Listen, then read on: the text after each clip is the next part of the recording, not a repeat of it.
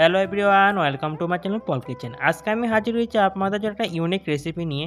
আপনারা তো বিভিন্ন জন বিভিন্ন রকমভাবে পাস্তা রান্না করে খেয়েছেন। কখনো কি নিরামিষ সবজি হিসেবে পাস্তা রান্না করে খেয়েছেন? যদি খেয়ে থাকেন, চলুন দিয়ে না করে শুরু করা যাক ইউনিক এই রেসিপিটা আর আপনার যে রেসিপিটা ভালো লেগে থাকে, অবশ্যই লাইক কমেন্ট শেয়ার সাবস্ক্রাইব করেন পাশে থাকে বেল আইকনটা অবশ্যই প্রেস করে দেবেন। তো দেখুন, নিয়ে নিলাম এক বাটি পাস্তা তো আমি ওভেনে একটি কড়াই বসিয়ে দিলাম পরিমাণ মতো জল।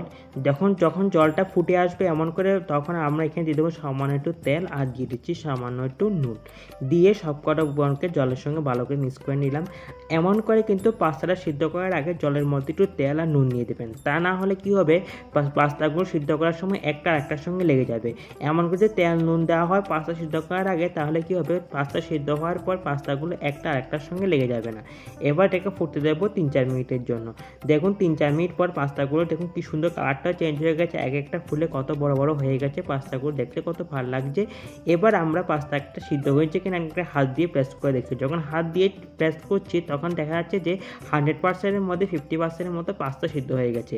এই রেসিপিটার জন্য কিন্তু এমন টাইপেরই পাস্তা সিদ্ধ করতে হবে। হান্ড্রেড পার্সেন্টের মধ্যে ফিফটি পার্সেন্ট সিদ্ধ হলেই হবে। এমন যদি এমন কম সিদ্ধ না করলে কী হবে? যখন রান্না করবেন, একদম পুরো ভর্তা হয়ে যাবে।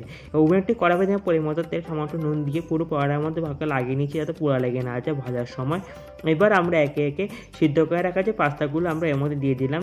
আর দিয়ে দিচ্ছি এখানে সামান্য একটু হলুদ গুঁড়ো এখানে আমি কিন্তু নুন দেবো না। যেহেতু আমি আগে নুন দিলাম, তাই এখানে নুন দিলাম না।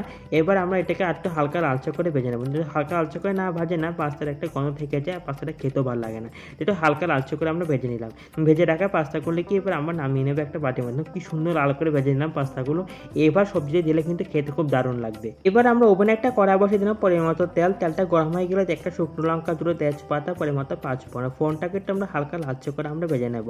দেখো ফোনটা লালচে রঙের ভাজা হয়ে গেল। এবার আমরা আদা বাটা, লঙ্কা বাটা, জিরে গুঁড়ো দেখলাম, মশলা দিলাম, মশলা ভালো করে আমরা কষে মশলা কষে গেছে, এবার আমরা দিয়ে দিলাম এর মধ্যে ভেজে রাখা আলু। আলুগুলোকে মশলার সঙ্গে একদম ভালো করে কষিয়ে নিতে হবে। আর আলুগুলোকে আমি ডুবো ডুবো করে কেটে তারপর ভেজে নিয়েছিলাম।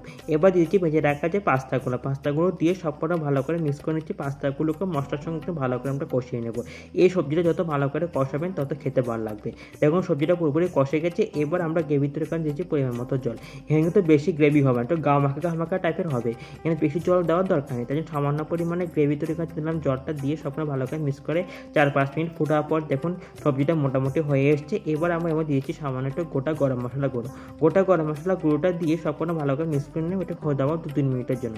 তখন দু তিন মিনিট পর সবজিটা পুরোপুরি তৈরি করা হয়ে গেলো, এবার আমরা নামিয়ে নেব রেসিপিটা তো এই রেসিপিটা গরম গরম ভাত বা রুটির সঙ্গে পরিবেশন করা না, দেখবেন যা নিরামিষ দিনটাই পুরো জমে যাবে। তো আপনারা কিন্তু অবশ্যই রেসিপিটা বাড়ি ট্রাই করবেন, কেমন হয়েছে আমার কমেন্ট করে কমেন্ট বক্সে লিখে জানাবেন। আর একবার যদি খান না দেখবেন মুখের স্বাদ সারা জীবন লেগে থাকবে। তো আজকে আমার ভিডিওটা এখানে শেষ করছি। না একদম হাজির হব অন্য কোনো ভিডিও নিয়ে।